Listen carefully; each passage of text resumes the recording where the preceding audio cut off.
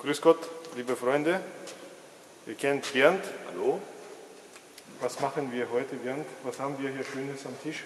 Wir haben viele schöne Sachen, aber hauptsächlich frieren wir heute, weil ihr seht das hier jetzt nicht auf eurem Film. Es ist hier lausig kalt, die Halle ist wie üblich nicht geheizt und äh, im Winter ist es hier mitunter sehr unangenehm. Aber die Arbeit an unserem Schätzchen tröstet ja über alles hinweg. Genau. Fangen wir da an. Ich weiß nicht, was wir hier haben, nennen sie immer Stehbleche. Die werden um den, um den Turmkranz von innen geschraubt. Und da kann man Sachen hinter verstauen. Die Dosen, die, die Behälter für die Kopfhörer und für die Mikrofone drin, Handlampen drin, alles Mögliche, was man so braucht, was nicht runterfallen darf. Insgesamt gibt es davon vier Stück. Diese beiden Teile sind für die linke Seite, die fehlten völlig. Die haben wir nachgemacht anhand von Bildern. David Parker aus dem Buch Super King. Ohne dieses Buch wüssten wir in vielen Details gar nicht, worum, äh, welche Teile, um welche Teile es sich handelt oder wie irgendwelche Teile zusammengebaut sind. Ist jetzt also ein bisschen kostenlose Werbung für das Buch, aber es ist nicht mehr erhältlich. Dann haben wir hier die Halterung für das Turmzielfernrohr. Turmzielfernrohr TZF, äh, kurz genannt, liegt hier neben. Das hier ist die Fahrtrichtung, also die Zielrichtung des Panzers. Äh, ich stehe hier praktisch anstelle des Geschützes und, dieses, äh, und diese Wiege hier, diese Halterung, die wird unmittelbar auf die, an die äh, Rohrwiege geschraubt. Und das, und das Ganze guckt dann so aus dem Turm raus. Und dieser Schlitten hier, dieser bewegliche Schlitten ist also die, die direkte Halterung für das Turmzielfernrohr. Wir haben das Teil hier. Dieses Ding wird jetzt so hier drüber gehängt und hier hinten an, am Turmdach befestigt. Das Ganze ist hier so drehbar, weil hier hinten ist es fest befestigt, aber äh, diese Halterung, äh, die an der Wiege ist, die geht hier rauf und runter. Das heißt, im Grunde macht das Fernrohr diese Bewegung hier. Deshalb ist hier dieses Gelenk mit, äh, mit so einer umleitenden Optik. Hier sind Spiegel drin, die das äh, Licht hier praktisch einmal um 90 Grad und dann nochmal um 90 Grad versetzen. Also hier drin wird das Licht umgelenkt und hier nochmal umgelenkt Naja, und dann zum Guckgerät quasi, zum Guckloch geleitet. Guckgerät, genau. Das ist nicht so ganz leicht. Das sieht auch massiv aus. Bei diesem Ding ist alles massiv. Gut, was wir hier sehen, dieses TZF, dieses Turmzielfernrohr, ist ein sogenanntes monokulares Zielfernrohr. Das heißt, es hat nur eine, eine Achse sozusagen. Hier sind aber zwei Öffnungen. Das Ganze sieht ja aus wie eine Brille. Die äh, früheren Turmzielfernrohrversionen, auch das vom Tiger 1, äh, das waren sogenannte Binokulare. Das heißt, das, das Ganze kann man sich hier doppelt vorstellen. Da gucken also zwei, äh, zwei Linsensysteme raus und der Turm hatte von vorne zwei Öffnungen. Man hat, aus welchen Gründen auch immer, dann irgendwann den Schwenk zum Monokularen gemacht, hat aber im Grunde diese binokulare Brille beibehalten. Die ist nicht ganz symmetrisch, wenn man sich das anguckt. Die vom Tiger 1, da gibt es Fotos, die ist also richtig schön symmetrisch. Sein, dass wegen Witterung oder sonst was die Linse vorne beschlägt. Dafür gibt es hier diesen Wischer. Scheibenwischer. sozusagen. Hier ist im Original so ein Filz drauf gewesen oder so, der das Ding dann, äh, der die Linse vorne freigewischt hat. Gut, als nächstes, dem fiebern ja viele entgegen. Das ist die Überwurfmutter zur Befestigung des vorderen Rohrteils fürs Geschütz. Die war hier verbogen. Das war jetzt kein, äh, kein Beschuss. Wir haben das Ganze glühend gemacht, haben das wieder in die ursprüngliche Form gebracht, mussten einige Risse flicken und äh, speziell an dieser Stelle und müssen hier jetzt noch ein bisschen nacharbeiten, um diese Biegung hier äh, wieder rauszuarbeiten. Okay, was Sie hier sehen, das ist einer von zwei Zylindern, äh, die auf der Rohrwiege aufge, äh, aufgemontiert sind. Das ist der sogenannte Luftvorholer. Der zweite Zylinder ist der Rückstoßdämpfer. Der Rückstoßdämpfer sieht ungefähr genauso aus, hat eine etwas dickere Achse, die ist auch zentral. Beim Feuern äh, hat man hier einen Rückstoß. Ein Rückstoß ist groß und der wird durch den, äh, durch den Rücklaufdämpfer gedämpft, wie ein Stoßdämpfer. Und äh, beim Rücklaufen des Rohres wird diese Achse hier rausgezogen und beim Rausziehen äh, wird hier drin Luftvolumen komprimiert. Und wenn, der, wenn das Moment abgeklungen ist des Rückstoßes, dann äh, zieht dieses Volumen, indem es, sich, indem es wieder expandiert, das Rohr in die ursprüngliche Stellung zurück. So, was wir hier noch aus dem Regal geholt haben, ist die originale äh, Coax MG-Halterung. Die wird äh, mehr oder weniger genau wie die Turmzielfernrohrhalterung links rechts an die Rohrwiege geschraubt. Das äh, MG wird hier reingeschoben und dann wird das Ganze hier äh, festgezurrt und so und Abzug, der Abzugmechanismus da verbunden. Das hier ist ein Hülsenfangtrichter. Wird hier so mehr oder weniger dran geschraubt. Und dieses Ding hier, das wird äh, als, das ist die Gurtzuführung praktisch, die wird äh, so an die Rohrwiege geschraubt. Warte mal kurz. Aha, schön. Ja. Befestigungsmutter ist das ganze Ding hier mit 1, 2, 3, 4, 5, 6 von diesen äh, Muttern befestigt gewesen. Wir haben jedenfalls drei nachgemacht. Und die sind hier so konisch geformt, äh, um zu verhindern, dass wenn äh, sie von einem Projektil getroffen werden, das ganze Ding senkrecht drauf geht und das nach innen drückt und äh, sie praktisch nicht mehr äh, demontierbar sind. Aber durch, diesen, durch diese konische Form würden Geschosse abgelenkt. Dann haben wir einige Sachen an der Wanne gemacht. Hier haben wir zum Beispiel äh, eine Scha Spatenhalterung äh, angeschweißt, die, die wir nachgemacht haben. Den Spaten, original Spaten haben wir auch gefunden. Irgendwo ist er. Der liegt oben drauf auf der Wanne. Okay. Auf der anderen Seite haben wir noch ein bisschen was gemacht. Und dieses dünne Stahltau, das wird zum Beispiel hier an dieser Stelle befestigt. Warum? Und damit es hier nicht rumschlenkert, wird es auf, dieser beweglich, auf diesem beweglichen Zapfen na,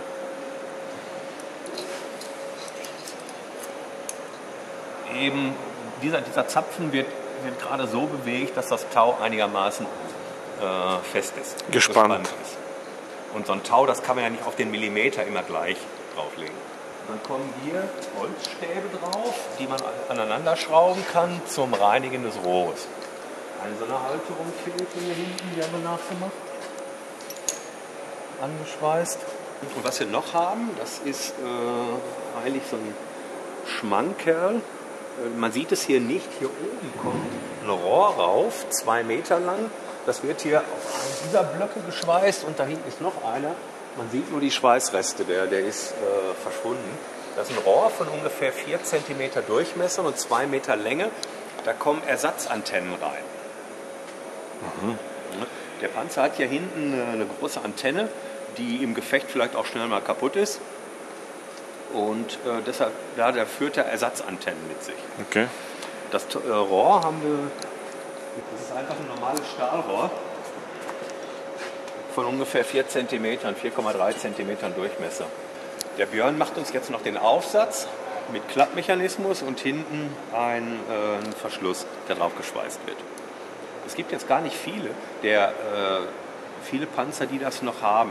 Munster ist, glaube ich, keins drauf.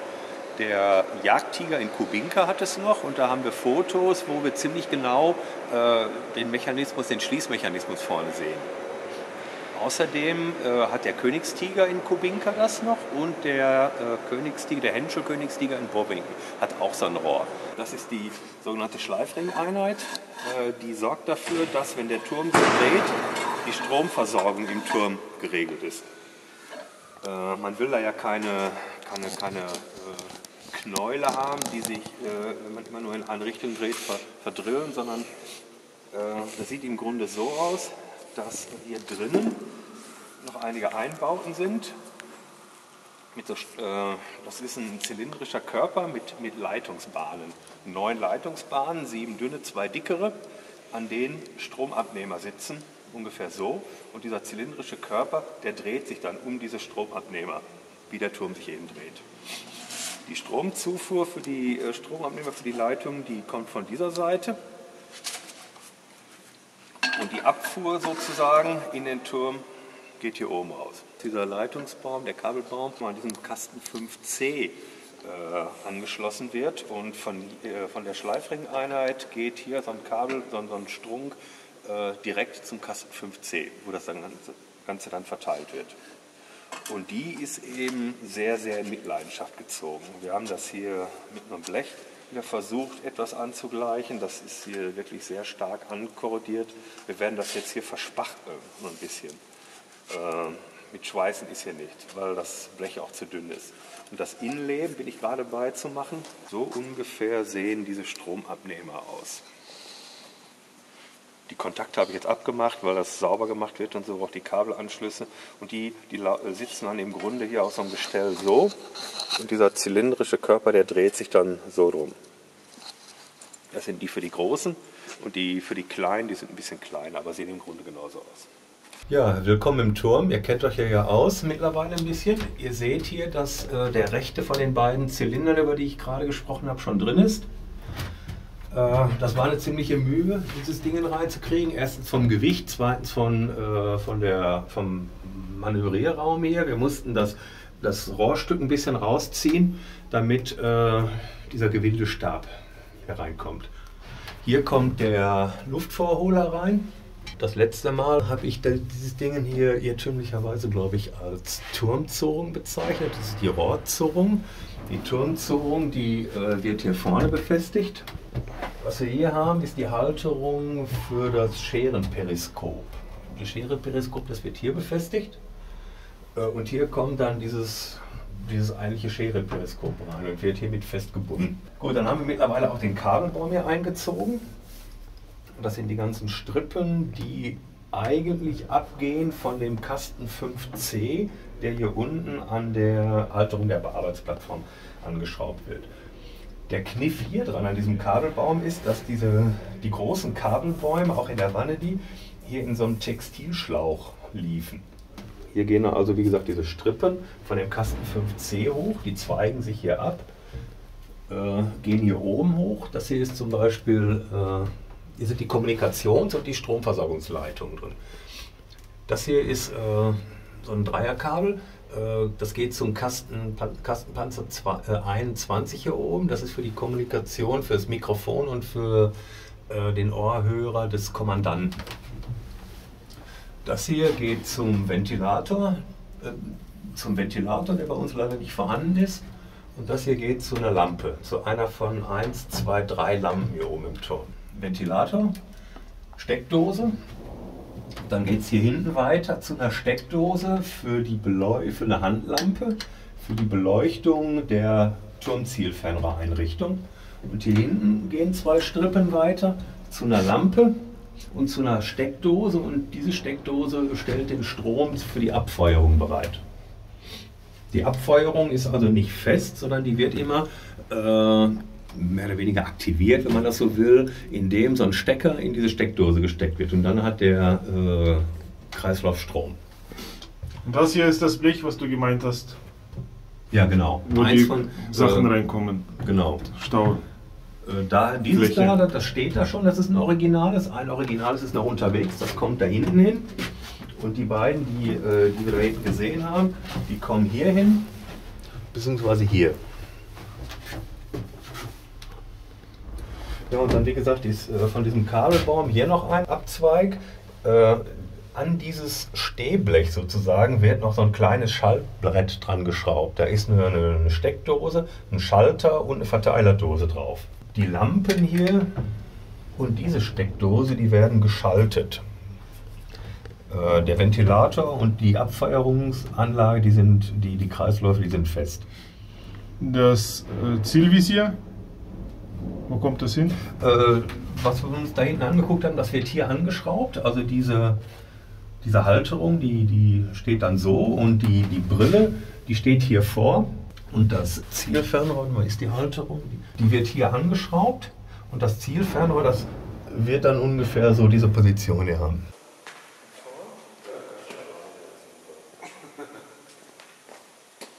Dass hier zu, sich zu sehen ist auf dem Bild. So, jetzt? Die Fotos sind wieder wichtiger als die Arbeit. Ne? Dokumentation, nicht Fotos, Dokumentation. Leg das Ding ab oder so. Mhm.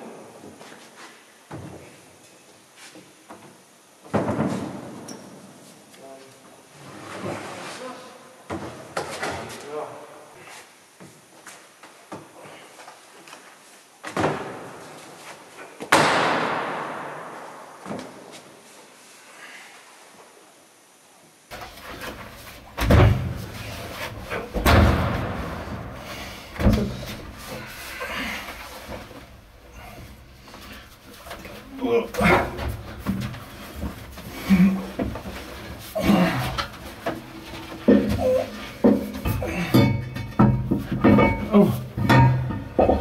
Zack.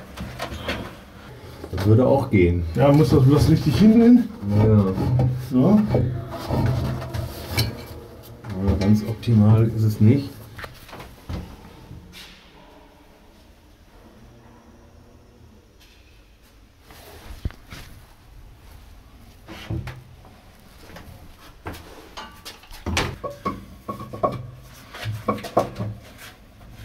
Das Ding muss einfach, was heißt einfach, einfach ein bisschen nach hinten geschoben werden.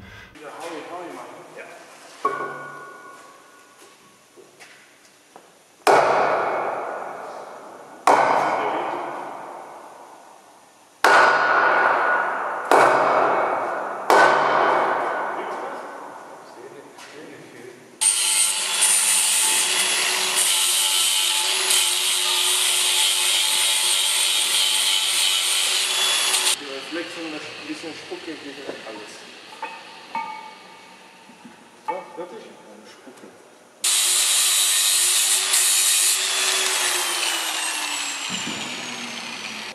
So, probieren wir es jetzt.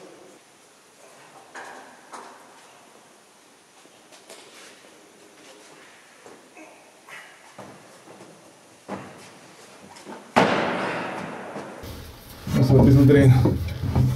Also. Fantastisch. So. Fantastico! Jetzt da ganz, hängt er da drin? Hängt er am Anschlag? Mhm. Jetzt hängt er am Anschlag. Das ist, ah, das ist jetzt reingerutscht mit dem Anschlag. Ehrlich? Ja.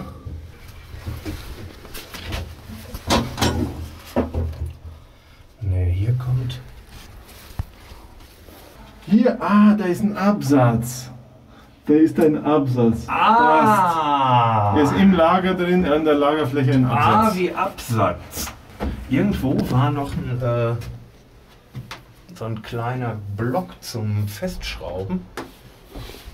Was im Block? Mal kurz.